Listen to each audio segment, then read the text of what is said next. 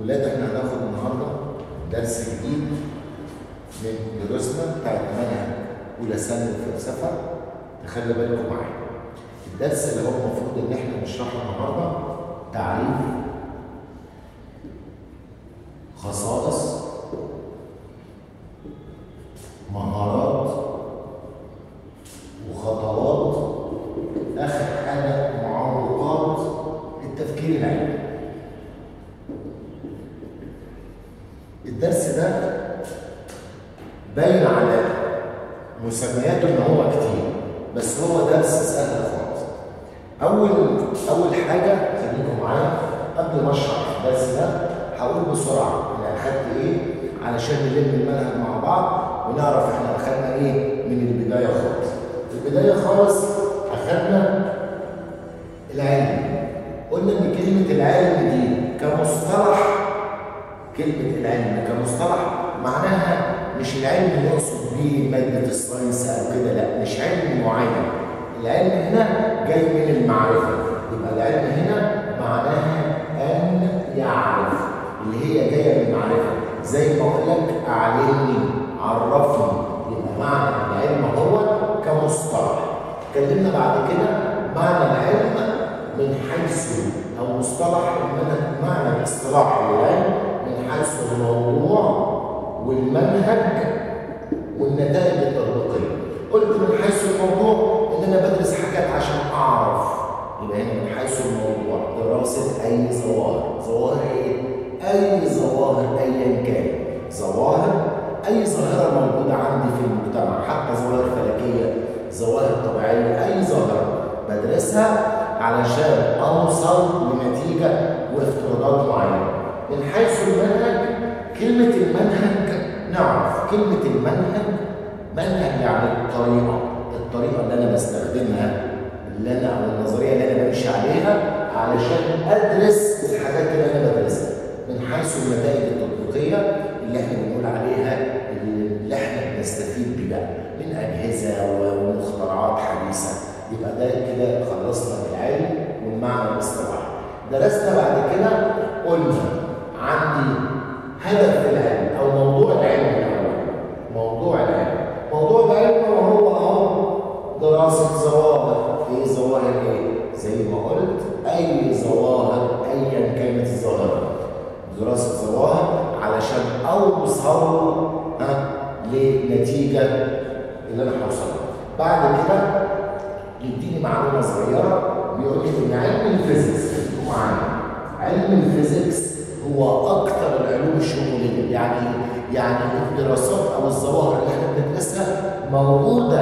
علم ال physics أكثر علم موجود فيه؟ علم ال physics. اللي كانوا بيسموه زمان علم الطبيعة. لأنه ماسك موضوعات كتيرة صوت وضوء حاجات كتير قوي علشان كده بنقول علم ال physics هو أكثر العلوم موضوعية. يليه علم البيولوجي يليه العلوم الاجتماعية والإنسانية. معلش أنا بسرعة ها؟ ده الحاجات اللي إحنا اخذناها علوم اجتماعيه أو انسانيه زي علم الاجتماع علم النفس. دي بنسميها العلوم الإنسانية أو العلوم الاجتماعية. يبقى بنقول علم ال physics يلي علم البيولوجي يلي العلوم الاجتماعية أو العلوم الإنسانية. العنوان اللي بعد كده أو الحاجة اللي اخذناها بعد كده هدف العلم. إيه يا ترى هو هدف العلم؟ العلم إحنا بنتعلم ليه؟ خلي بالكم. مش معنى إن أنا أقول بنتعلم يعني بندرس لا مش ده المقصود. بنتعلم بنتعلم أي حاجة. واحد بيعمل دراسات واحد بيعمل ابحاث مش العلم هي الدراسة بس اللي إحنا بنتعلمها لا هدف العلم إيه؟ لو قلت واحد بيتعلم حرفة معينة إيه الهدف من إنه يتعلم الحرفة دي؟ هدف العلم إن الإنسان هو اللي يتحكم في الطبيعة. بنقول عليه الانسان يتحكم ويسيطر على أخطار الإيه؟ الطبيعة. ده بنقول عليه هدف العلم. يبقى خلاص بعد كده نيجي بعد كده للعنوان اللي خلي بالكم معايا اتكلمنا عن مهام مراتب العلم يعني إيه مهام رجل العلم؟ رجل العلم ده مهمته إيه؟ أول واحدة وصف تاني واحدة تفسير تفسير الثالثه تنبؤ تعالوا نقول بعد بسرعة كده يعني إيه وصف؟ كلمة وصف يعني بيوصف الأحداث اللي موجودة قدامه ويصنفها ويحطها في مجموعات دي بنقول عليها الوصف. التفسير اللي هي معرفة الأسباب. يبقى معنى كلمة تفسير معرفة الأسباب. لأن اللي في الامتحان أو السؤال لما يجيلي مش هيجيلي مباشر كده لا. ممكن يجيلي المعنى دي. ممكن يجي يقول لي معرفة الأسباب هي إيه؟ وصف ولا تفسير ولا تنبؤ. يبقى أعرف معرفة الأسباب هي الإيه؟ هي التفسير. أمال التنبؤ؟ التنبؤ دي أنا بسميها العلاج. العلاج اللي هو وضع خطط مستقبلية يبقى إحنا بنقول مهام رجل العلم وصف تفسير تنبؤ. دايما كده لما تيجي تذاكروا حاولوا ان أنتوا كده إيه؟ مهام رجل العلم وصف تفسير تنبؤ. مهام رجل العلم وصف تفسير تنبؤ علشان تبقوا عارفين الثلاث نقاط. نيجي بعد كده صفات رجل العلم. هل يا ترى رجل العلم ده مفروض إنه يبقى له صفات معينة؟ طبعا. أول حاجة خلي معايا طبعا أنا بقول الكلام اللي إحنا قلناه قبل كده بس علشان نلم الدنيا أول حاجة الأمانة العلمية. يعني إيه أمانة علمية؟ لو قلت الأمانة لوحدها واسكت لا ده دي أمانة علمية. أمانة علمية في إيه يا ترى؟ امانه علميه ان أنا لما أجي أعمل دراسة أو أعمل بحث أو أعمل أي حاجة مخترعه أو أوصل لنتيجة معينة لازم أقدم الدليل أو البرهان اللي يثبت الكلام اللي أنا قلته ده. طب تاني حاجة إيه؟ تاني حاجة في الأمانة العلمية إن أنا أذكر فضل اللي أنا اتعلمت على ايديه وأنا أشكره. دول طبعا لو ضميت الثلاثه مع بعض يبقى أول حاجة إن أنا أمانة علمية في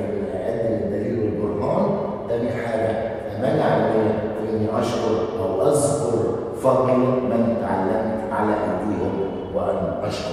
تاني حاجة من صفات رجل العلم الدقة والدقة دي خلي بالنا في حاجتين هو أنا دلوقتي لما أجي أسألك سؤال وأقول لك أنت أنت جبت كام السنة اللي فاتت الإعدادية؟ تقول لي أنا جبت يا مستر مجموع حلو مجموع وحش نص نص في حاجة اسمها نص نص. اسمها وحش من وجهة نظرك إيه؟ لا أنت تحدد لي تقول لي أنا جبت 98 و9 من 10 الله يبقى إحنا كده الدقة أنا استخدمت إيه؟ استخدمت أرقام، استخدمت رموز. زي كده لما أجي أديك مسألة في ال math. أجيبها لك مباشرة، ليه؟ لأن اديتك أرقام واديتك رموز، قلت لك 3 plus 3 أو قلت لك 4 by 4 يبقى أنا استخدمت هنا لغة الرياضيات، يبقى هنا الدقة إن أنا أستخدم الدقة في استخدام لغة الرياضيات والمعادلات الرمزية كده ابقى دقيق ليه؟ لأن استخدمت لغة الرياضيات والمعادلات الرمزية. الدقة في إيه؟ الدقة في إن أنا أدي أهمية لموضوع البحث. إعطاء أهمية لموضوع الايه؟ البحث. يبقى هنا بنقول عليه الدقه. يبقى أول حاجة الامانه العلمية، ثاني حاجة الدقة، ثالث حاجة مفروض إن حاجة اسمها الرؤية النقدية. ثالث حاجة من صفات رجل العلم الرؤية النقدية. يعني إيه رؤية نقدية؟ كلمة رؤية نقدية هنا يعني أنقد نفسي وتقبل النقد من الآخرين. بمعنى إيه؟ بمعنى ان لو أنا وصلت في دراسة أو في بحث حاجة غلط أو أنا من نفسي كده أصحح أخطائي. أنا عملت حاجة غلط؟ لا لا لا. كده مش مش ده الصح. لا لا. يبقى هنا بنقول انقد نفسي وأتقبل النقد من الآخرين. يعني إيه انقد نفسي؟ إن أنا أصحح أخطائي احس باخطائي وبعد كده إيه اصحح واتقبل نقد الاخرين علشان كده بنقول دي اسمها الرؤيه النقديه اخر واحدة من مهام من سلسله صفات رجل العلم بنقول عليها الخيال. يجب أن يكون الخيال وسيلة وليس غايه يعني إيه الكلام ده؟ أنا بتخيل إن أنا بعمل وبعمل وبعمل وبعمل. خلاص كده. هو ده اللي أنا وصلت له. الخيال اللي أنا تخيلته ده لازم يكون هو الوسيلة علشان أوصل للغاية علشان أحقق الغاية اللي أنا إيه اللي أنا عايز أوصل لها. علشان كده بنقول يجب أن يكون الخيال وسيلة وليس غايه. آخر حاجة في الدرس بتاعنا ده اسمها خصائص المعرفة العلمية. خصائص المعرفة العلمية. يعني إيه خصائص المعرفة العلمية؟ المعرفة أنا وصلت لها دي إيه الخصائص بتاعتها؟ كتير زي ما قلناهم عقلانية، لا هي عقلانية لأن من افعال الإنسان تتطلب جرأة، تتطلب اقدام، بتخلي الإنسان لازم يحقق اللي هو عايزه. تاني حاجة المعرفة العلمية بتؤكد، يعني إيه بتؤكد؟ بتقول خصائصها إن اللي أنا ما أعرفوش أكتر بكتير قوي من اللي أنا عارفه، بمعنى إيه؟ بمعنى إن أنا لو أنا وصلت لدرجة كبيرة قوي من العلم وعرفت حاجات كتير قوي رغم إن أنا عارف حاجات كتير وعندي معلومات كتير عن حاجات كتير إنما اللي أنا عرفته ده يعتبر بالنسبة للي أنا ما عرفتوش كتير أو يعني أنا عرفت القليل ناقص لسه كتير. العلم ده بحوره واسعة وبحوره كتير. مهما اتعلم برضه مش هقدر أوصل للعلم الغزير اللي موجود. المعرفة العلمية إنسانية. يعني إيه إنسانية؟ كلمة إنسانية هنا لأنها مين؟ هو هو أنا لما أعرف حاجة. أو أوصل ان أنا إنسان. بخدم انسان الدكتور اللي بيعالج المريض الدكتور ده إنسان. بيخدم مين؟ بيخدم الإنسان. علشان كده بنقول المعرفة العلمية إنسانية بمعنى إن من صنع الإنسان لخدمة الإنسان. بعد كده المعرفة العلمية بتشترك في أساسيات دليل برهان بنوصل لنتائج. المعرفة العلمية احتمالية. يعني إيه احتمالية؟ احتمالية يعني ما شيء قاطع.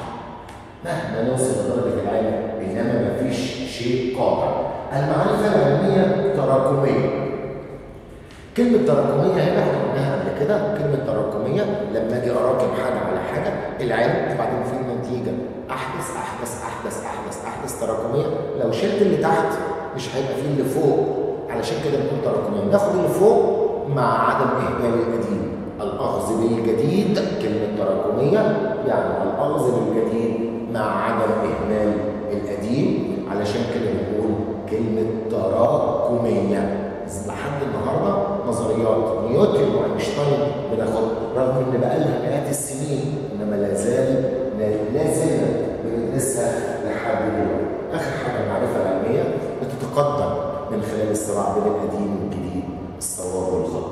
دي كانت آخر حاجة اخذناها اللي هي خصائص المعرفة العلمية. درس النهارده هنقوله بسرعة. درس سهل وكويس تعريف الخصائص والمهارات ومعوقات التفكير العلمي. خلي بالكم أنا قلت قبل كده مش معنى إن أنا بقول تفكير علمي لا يمت للعلوم بصله مش معناه كلمة ساينس لا زي ما قلت قبل كده جاية من كلمة علمني عرفني. إيه تعريف التفكير العلمي؟ هقولها كده بسرعة. التفكير العلمي بسرعة ليس تفكير العلماء ولكنه أي تفكير منظم حتى في شؤون حياه اليوم. لو أنا بعمل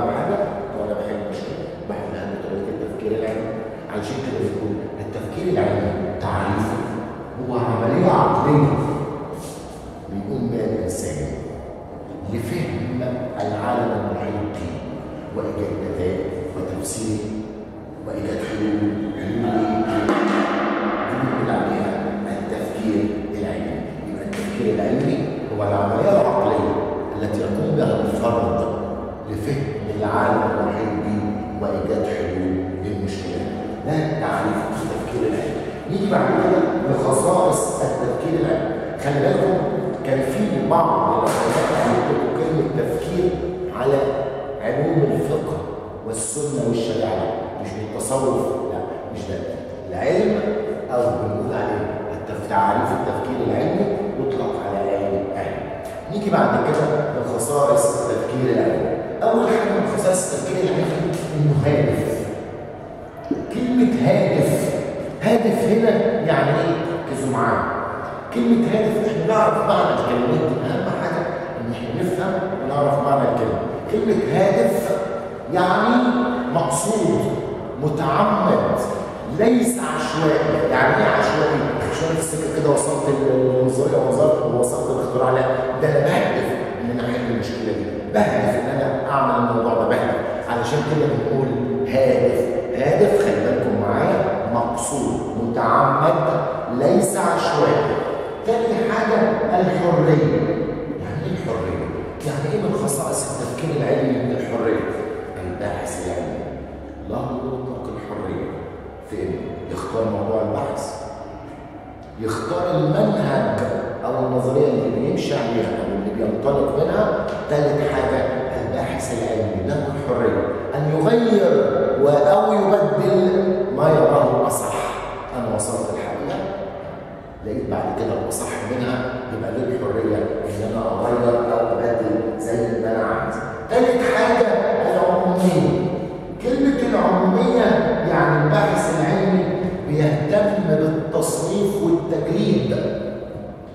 علشان كده بنقول ده من خصائص التفكير العلمي العمومي يبقى أول واحدة ركزوا معايا. هدف الحرية العمومية. رابع حاجة الموضوعيه يعني إيه كلمة الموضوعيه دي؟ لما أجي أقول للواحد خليك موضوعي خليك حقاني. ما تحيدش عن الحقيقة. يعني إيه موضوعية؟ كلمة موضوعية هنا يعني البعد عن المصالح والأهواء الشخصية. كلمة الأهواء دي جديدة عليكم يعني إيه أهواء؟ كلمة الأهواء جاية من كلمة الهوى. ده جاي على هوايا أنا بحبه. ده مش جاي على هوايا بكرهه. أنا مش بحبه لا. يبقى هنا بتقول الموضوعية يعني البعد عن المصالح والأهواء الإيه؟ الشخصية اللي هي اللي هي يعني أبعد عن مصلحتي خامس حاجة من خصائص التفكير العلمي إنه كمي لو أنتوا خدتوا بالكم أنا اتكلمت من شوية من خصائص المعرفة العلمية اتكلمت عن الأرقام أو الأعداد أو الرموز. كلمة كمي هنا؟ عكسها كيفي خلي بالكم.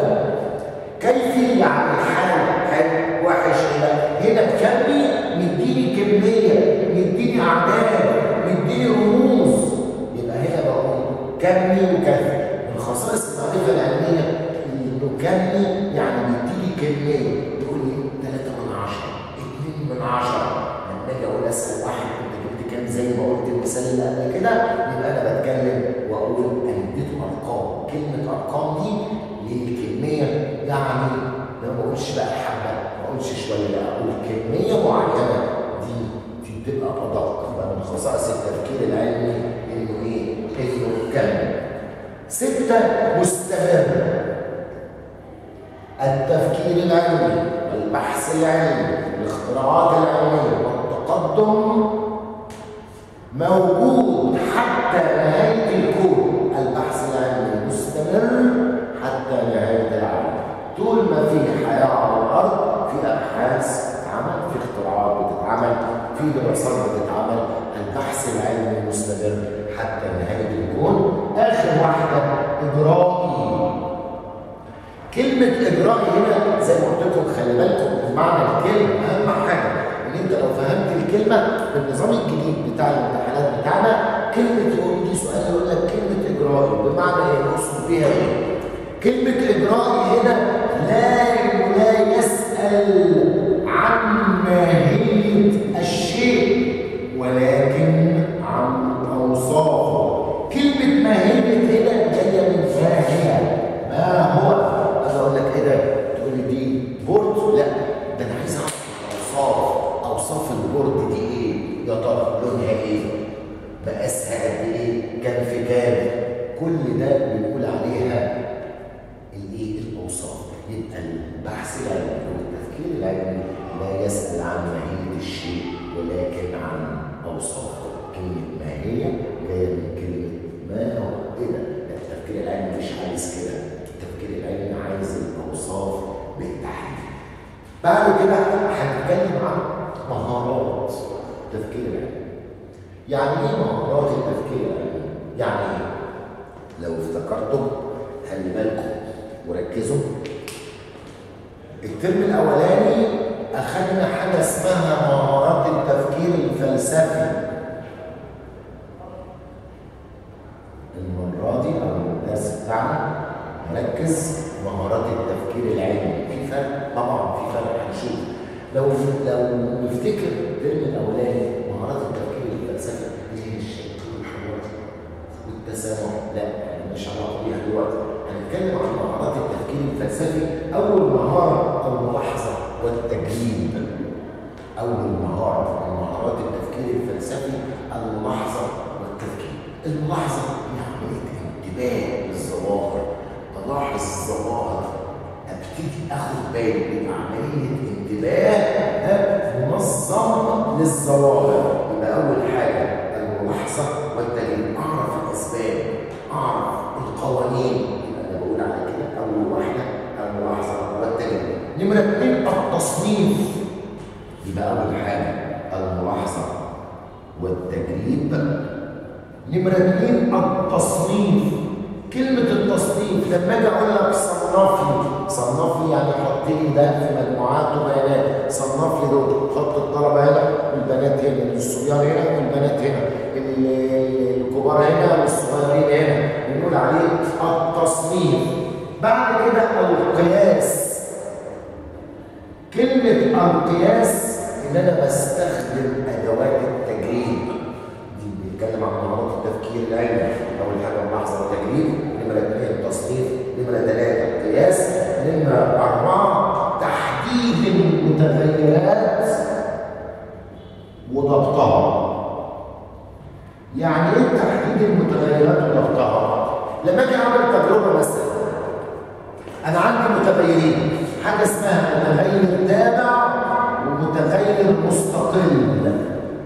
يعني إيه متغير تابع ومتغير مستقل؟ لما أجي أعمل تجربة مثلا بعمل التجربة أو مثلا لو أنا عندي نبات وعايز أشوف النبات ده إيه السبب في النمو؟ أنا طبعا عندي شروط علشان النبات ده عندي شروط أربع شروط لازم يبقى فيه مثلا ياخد ياخد إيه carbon dioxide ياخد water ياخد light بيقول عليها المتغيرات دي بحاول إن أنا أغير أغير يعني أعمل إيه؟ أشوف أشوف إيه الشرط ده نفع؟ لا ما نفعش أغيره علشان كده بنسميها متغير تابع ومتغير مستقل بعد كده يبقى خمسة تفسير البيانات يبقى اللي إحنا قلنا عليه مهارات التفكير العلمي أو واحد الملاحظه والتدريب تاني حاجة التصنيف تالت حاجة القياس رابع حاجة تحديد المتغيرات والافكار اخر حاجة تفسير البيانات نيجي بعد كده لخطوات التفكير العلمي زي ما دي الخمسه برضه خمس خطوات للتفكير العلمي. أول حاجة الشعور بالمشكلة. الشعور بالمشكلة. أحس إن في مشكلة. علشان أفكر في الموضوع بطريقة علمية يبقى أول حاجة الشعور بالمشكلة. نمرة اثنين تحديد المشكلة. بحدد إيه هي المشكلة بالظبط.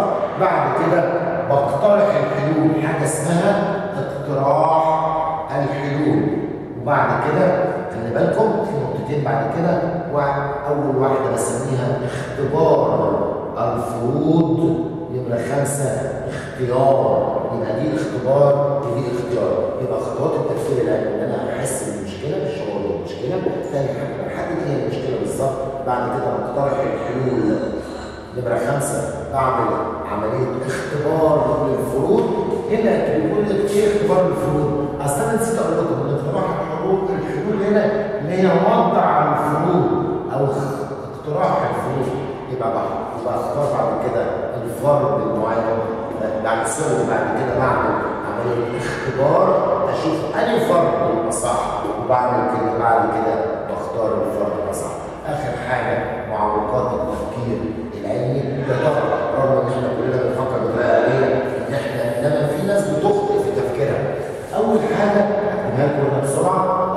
الاخطاء المنطقية. كلمة الأخطاء المنطقية يعني يعني أنا بتسرع في الحكم. ابقى متسرع حكم على الأشياء. وأخطئ في أمور. بدي رأيي فيها بسرعة. علشان كده بنقول أول حاجة الأخطاء المنطقية دي اللي بتعوق التفكير العلمي إن أنا بتسرع لما اوصل لنتائج مقدمه بعد كده العوامل الانفعاليه العوامل الانفعاليه عوامل الانفعاليه زي إيه؟ زي القلق، التوتر، وأنا قاعد في الامتحان كده لو أنا متوتر هخطئ. وأنا بعمل حاجة لو أنا متوتر أو أنا قلقان أو نفسيا متضايق تعبان مش هوصل للصح، هخطئ في تفكيري علشان كده اللي بيعرض التفكير العلمي العوامل الانفعاليه زي التعصب، آخر حاجة من العوامل الانفعاليه عدم ربط البيانات، الإنسان كلمة يسلم يعني ياخذ يأخذ البيانات دون نقدها أو دون التفكير فيها الحصه الجايه